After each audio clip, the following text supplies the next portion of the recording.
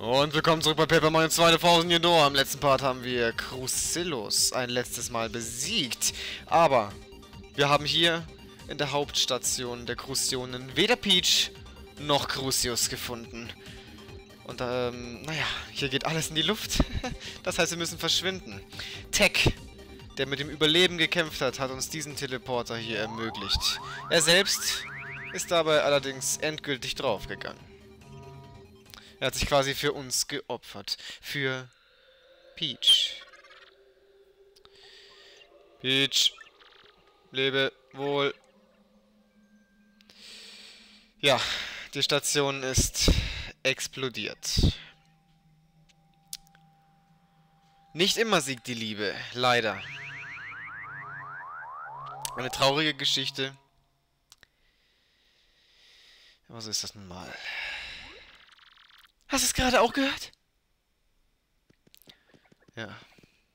Und wir sind zurück in Rohlingen. Aber wo zur Hölle ist Crucius? Oh, da bist du ja, Mario. Professor Gumbert? Hier bin ich.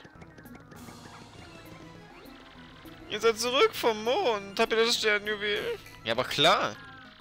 Was? Ihr habt das geheime Hauptquartier der Crucionen auf dem Mond gefunden? Dann habt ihr also auch Prinzessin Peach gesehen? Also ehrlich gesagt, der Crucionenboss hat sie zu diesem Tor verschleppt. Also doch, ich hatte vorhin ein ungutes Gefühl und bin zum Ionentor gegangen. Da habe ich gesehen, wie ein verdächtiger Kerl mit der Prinzessin im Tor verschwand. Bitte? Wirklich? Aber braucht man denn nicht alle sieben Sternjuwelen, um das Tor zu öffnen? So wahr ich hier stehe, ich habe es mit meinen eigenen Augen gesehen. Ich fürchte sehr, Prinzessin Peach ist in Gefahr. Wir müssen also schnellstens das Tor öffnen und der Prinzessin helfen. Ich gehe schon vor. Ihr kommt nach, so schnell ihr könnt. Ganz im Ernst, ich glaube nicht, dass das in der englischen Fassung auch so gesagt wurde. Ich meine, what the fuck? Der Typ sieht, dass da jemand reingeht mit äh, einer Schlampe, die aussieht wie Peach und reagiert nicht? Hä? Und dann labert sie jetzt hier auch noch, wir müssen das Tor öffnen. Ja, wie ist ein Crucis bitte schon reingekommen? Indem das Tor verschlossen war, oder was? Naja, aber man muss es tatsächlich irgendwie öffnen und, äh, gut, das ist alles ein wenig seltsam. Bevor wir aber da hingehen, werde ich alle Nebenquests endgültig abschließen. Das bedeutet, ich werde mich jetzt erstmal ranmachen, alle Sternsplitter zu sammeln, die uns noch fehlen. So viele sind das, soweit ich weiß, nicht. Ich zeige euch, wo wir die letzten vergessen haben. Ja, ja, dieser Sternsplitter ist mir schon auf dem Flug zum Mond eingefallen. Hat mich richtig geärgert, denn hier ist auch noch einer. Gut, er ist wirklich sehr schwer zu sehen. Aber naja, hier im Haus von General Bomb um finden wir einen von vier. Und dass wir den hier nicht haben, wundert mich. Also, ich weiß nicht, ob ich da irgendwie nicht gespeichert habe oder so. Aber, also, ich dachte eigentlich, dass wir den geholt haben. Wenn nicht, dann ist es noch bitterer wie der in General Bob Ums. Weil während ich mit dem Typen da gesprochen habe, habe ich nämlich noch an den Stellspieler gedacht und wenn ich den echt nicht geholt habe, dann, äh, ja, fuck you. Alles gibt's doch nicht, Leute. Selbst in der Höhle haben wir was vergessen. Erinnert ihr euch, als ich hier noch eine Stampfattacke gemacht habe, weil ich dachte, hier wäre eine Bodenplatte? Ja, ich habe mich zwar einigermaßen gut erinnern können, aber die Bodenplatte ist hier. Oh Mann. Goddammit. Einer fehlt uns noch, aber den hole ich ganz am Ende, weil der seltsamerweise beim Ionentor ist. Ich weiß nicht warum, also ich bin mir sicher, dass ich mindestens zwei von denen, die ich euch jetzt gerade gezeigt habe, schon geholt habe. Aber irgendwie hat es nicht gespeichert, keine Ahnung. Vor allem bei dem beim Ionentor bin ich mir ziemlich sicher. Ist jetzt egal, zur Vollständigkeit... Gutes Deutsch. Zur Vollständigkeitshalber werde ich noch Aerona in den Ultrarang aufstufen. Aber hier den Ultra Saiyajin zu sehen, wird doch mal geil, oder? Big Tits und dann hier noch so mega Haare. Oh mein Gott. So Gina Lisa oder sowas. Naja. Gut, dann hat sie also auch den Rang. Das einzige Gute an ihr ist, dass sie halt äh, 35 KP halt und mich, glaube ich, auch heilen kann mit dem Knutschschuss, aber ist mir so wurscht. Ne, nur sich selbst, oder? Ah, ist ja wurscht. Braucht dir keine Sau. Deswegen gehst du gleich mal weg. Weg, weg, weg. Ja, Leute. Und jetzt kaufen wir uns was. Nämlich hier bei dem Händler. Und zwar den Dressmann W. 360 Münzen kostet der. Das ist mir so wurscht. Weg mit der Kohle. Gib mir den Dressmann, Dressmann W. Ja, man kann in dem Spiel Mario sein. Wario. Waluigi. Äh, ja, das war's. cool bleiben. Gilly Royal.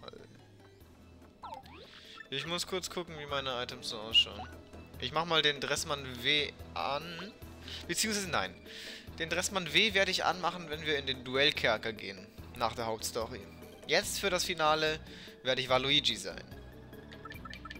Das heißt, ich aktiviere den Dressmann W und den Dressmann L zur gleichen Zeit. Dann ist man Waluigi. Ich hätte sogar noch einen OP-Punkt frei. Finde ich ja cool. Äh, ja, machen wir doch das. Wenn ich voll im Arsch bin, dann einfach nochmal 5 äh, äh, äh, Angriff dazu. Ist doch ganz gut, ne? Yay, Waluigi! Schaut aus wie ein Gangster. Deswegen, deshalb finde ich das auch so geil. Und passend fürs Finale. Jojo. Äh, was wollen wir noch alles gucken? Ich suche gerade, wenn ich ehrlich bin, Luigi. Aber ich glaube, nach dem siebten Kapitel findet man den nirgendwo, sondern erst nach dem Finale erzählt er, wie seine Story ausging. Und selbst wenn ich ihn jetzt nicht finde, ist es auch egal, denn ich kann mir die Story des siebten Kapitels und alle vorherigen ja auch noch nacherzählen lassen. Und es gibt sogar noch so ein kleines Goodie, denn... Nein, ich will es nicht verraten. Aber Luigi wird noch einigermaßen erfolgreich im Spiel werden. Naja. Erstmal hier die Tafel lesen. Eine uralte Prophezeiung besagt, der Mond wird in grellem Licht erstrahlen. Sie sagt auch, die Welt wird in Dunkelheit versinken. Oh, wow, wow, was ist das denn für eine Ansage? Das, das macht schon Bock aufs Finale, oder? Sudelecke. Der Mond wirkt irgendwie unruhig heute Abend. Ob der Mann da oben wütend ist? Ein Astronom. Ey, ey, ey, ey. Hier im Wirtshaus ist er auch nicht, ne? Nee, die Sau ist nirgends. Nur Corsario ist wieder am Saufen, aber den wollen... Luigi! Da bist du! Abenteuer? ja, reise ich mal so gar nicht, gar nicht. Bei meiner letzten Reise habe ich nämlich Prinzessin Eclair befreit. Ohne Scheiß jetzt. ja, ich habe meinen Weg bis zu den Zornesturm gemacht. Ne? Aber dieses Abenteuer werde ich so schnell nicht so vergessen, ne? Soll ich dir eigentlich davon so erzählen, weißt du, ne? Ja, was willst du hören so? Ja, logischerweise das Finale, Junge. Am Zornensturm. Ja, das ist eine ziemlich lange Geschichte, wie immer, ne? Ja, der Zornsturm liegt halt weit im Norden, so, ne? Auf so einer steilen Klippe, weißt du? Direkt am Meer bläst voll der scharfe Wind, so nice, ey. Der Klang dieses Windes, die Stimme aus einer anderen Welt, voll episch. Keiner wagt es, dem Turm zu nahe zu kommen, so. Aber wir erreichen doch das Portal des Zornsturms, ne? Natürlich hatte ich Angst, gell? Aber der Geda äh, Gedanke an Erklär, oh, mein Kopf, du, ich, das glaubst du gar nicht, du. Naja, meine Kameraden wachten so, äh, dachten so irgendwie, äh, ja, deren Kock ist halt auch geil geworden, so. Wir öffnen das Tor so, Turm herrscht völlige Finsternis, so Scheiß. Ich wollte die Prinzessin rufen, aber ich bekam keinen Ton raus, ne. Dann hatte ich so meine Augen voll so mit Dunkelheit gewöhnt, ne. Und ja, da war da so voll das Monster, ohne Scheiß, so. Der Gumba-König, voll epic, ne. Aus seinem Maul tropft eine Geifer aus, auf den Boden, so. Und dieser Geifer ätzte Löcher in den Boden, ohne Scheiß. Ich zitterte vor Angst, aber ich durfte keine Schwäche zeigen, ne. Seinem Angriff konnte ich mit knapper Not ausweichen, gell? Das war voll der epische Ausweichtechnik, du. Und ja, dann griff ich halt so den König äh, Kumba so an, so, äh, den Kumba und dann Hammer und weißt du, der erste Schlag konnte so ausweichen, der Typ, aber da, dann habe ich ihn doch noch irgendwie so getroffen, so. Ja, konnte ich halt schaffen. Er war ziemlich stark, Ike, aber ja, meine Power war halt episch und so. Ich konnte voll gewinnen, der nächste Schlag musste gelingen, ne? Ich war nervös. Ich griff so meinen Hammer und lauerte so wie, wie, wie ein Camper, ne? Und ja, dann krach, der Sturm äh, brach ein Fenster im Turm so. Der Gummerkönig war abgelenkt, das war meine Chance, ey. Jetzt dachte ich mir, epic nice und gell, ne? Und ja, dann, ich, ich hatte ihn halt dann besiegt, so. Dann kamen noch so viel schreckliche Monster und äh, den habe ich halt auch einen Headshot gegeben, so. Und ja, Prinzessin Claire habe ich auch so gerettet irgendwie. Deshalb bin ich jetzt wieder in Rohlingen. Ja, das war mein Leben bisher. Was? Äh, da muss doch noch mehr gewesen sein, meinst du? Nee, eigentlich nicht so. Die Prozessin hat mir keinen, äh, ja, hat nichts gemacht. Und ja, damit ging ich halt leer aus, so wie du auch immer. Aber auf mich warten noch viele Abenteuer, ich schwöre. Zum Beispiel so Luigi's Mansion oder Mansion 2, was auf dem 3DS jetzt rauskommt und keine Ahnung. Okay, Luigi, finde ich gut. Finde ich, finde ich sehr, sehr gut.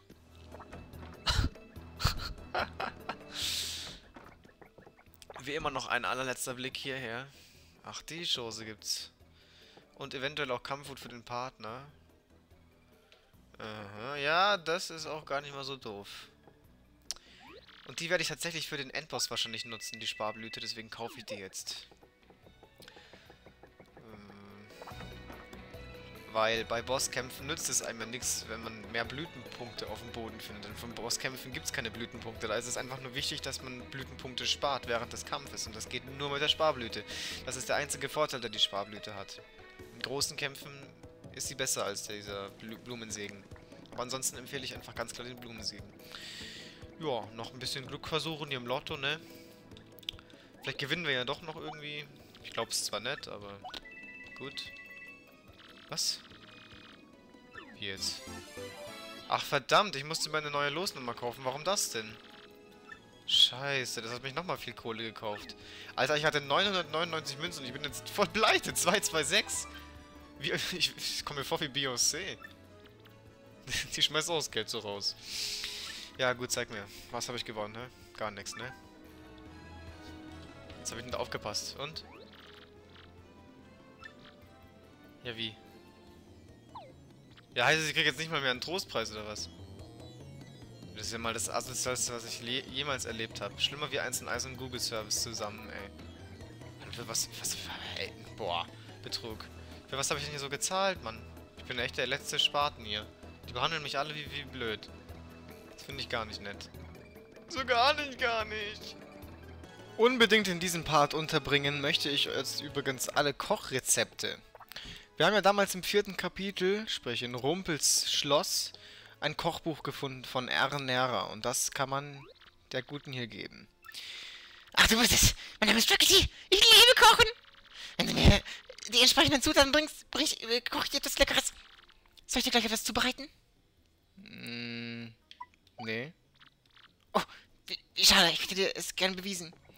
Also sie kocht auch schon vorher für einen, aber wenn man ihr das Kochbuch gibt, kann sie mit zwei Zutaten kochen und dann gibt es natürlich viel, viel mehr Gerichte, die man herstellen kann. Und irgendwie hat das gerade nicht geklappt, deswegen habe ich jetzt nochmal die Ebene gewechselt. Gehe jetzt nochmal rein, vielleicht checkt sie es jetzt. Hör mal gut zu! Endlich habe ich herausgefunden, wo das ultimative Kochbuch für, Me für Meisterköche ist. Ich habe in der Jobagentur in Ostend angefragt, ob es mich jemand holen würde, Geh zur Jobagentur, wenn du den Auftrag annehmen willst. Du wirst reichlich be belohnt. Aber das und nebenbei möchtest du, dass ich etwas koche? Nein. Ähm, okay. Ich wusste nicht, dass es mit einem Job zu tun hat. Das wollte ich eigentlich alles in extra Parts machen, aber wenn das so ist, werde ich den kurz annehmen. Das ist übrigens auch die alte, die uns ganz am Anfang des Spiels äh, verboten hat, in den Westen zu gehen. Weil wir auf ihre Kontaktlinse getreten sind. Oh mein Gott. So, jetzt muss ich sie erstmal suchen. Ja, Rackelty. Ich möchte, dass jemand das legendäre Kochbuch für mich sucht.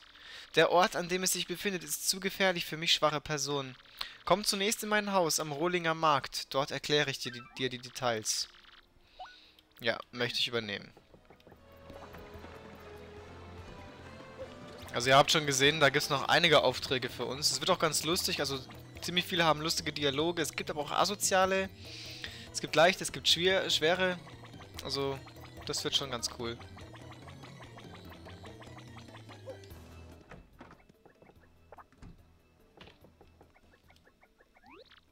Ah, du übernimmst den Auftrag. Diese Sache ist von enormer Wichtigkeit, also ja gut so. Vor langer, langer Zeit gab es ein legendäres Kochbuch. Äh, nee, ein Koch mit dem Namen Ernährer.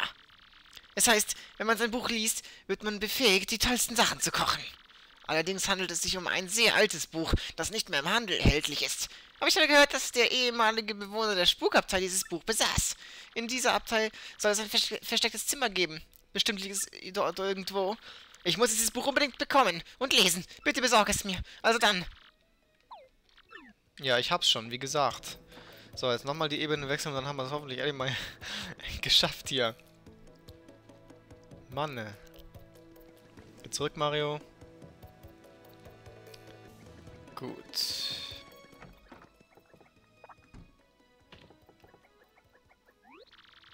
Hast du es, Corpore? Ja. Oh, das ist es. Das Buch von Ernährer. Gib her schnell. Ja, ja, chill. Ah, so also. Wie Mario schaut. ich liebe das Face. Das ist so geil, wenn er den Kopf so zurückzieht und so, so, so völlig überrascht, so O.O. Face. Das ist so geil. Ach ja. Geschafft. Aus Pilz und Honigsirup habe ich einen Honigpilz gemacht. Endlich kann ich Gerichte kochen, die aus zwei Zutaten bestehen. Ein wahrhaft famoses Buch und ich kann es sofort benutzen. Ich danke dir, nimm das als Belohnung. Der Honigpilz. Da ich in der Lage bin, Gerichte aus zwei Zutaten zu kochen, komm vorbei, wann immer du Appetit hast. Ich werde dir zauberhafte Speisen zubereiten. Der Auftrag ist erledigt. Ja, die vollständige Liste habe ich allerdings in einem anderen Spielstand, deshalb werde ich kurz wechseln. Hier ist ja auch schon die komplette Liste aller Rezepte. Ich werde das jetzt einfach mal durchlaufen lassen. Ihr seht da zuerst mal, was es einem bringt. Also zum Beispiel Bratpilz bringt 6 äh, KP und 2 Blütenpunkte. Und unten steht halt, was man dazu braucht. Es gibt mit Sicherheit viele von euch, die noch nicht alles haben. Und ja, denjenigen werde ich nun helfen. Alles nach der Reihe. Ich bin in der Zwischenzeit still.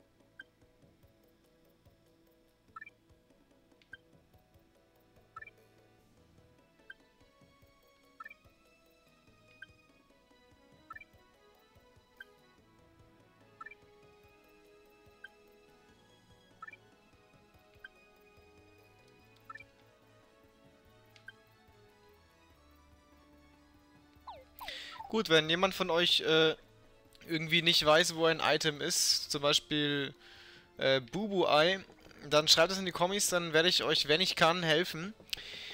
Aber wenn jetzt zum Beispiel zwei Leute fragen, wo ist das Bubu-Ei, werde ich natürlich nur einmal antworten, weil es ist eure Verpflichtung meiner Meinung nach, dass ihr auch ein bisschen in den Kommis guckt, was so schon geklärt ist und was nicht. Und nicht, dass, eine, dass irgendeine Antwort auch hundertmal in den Kommis ste steht. Das langweilt nämlich.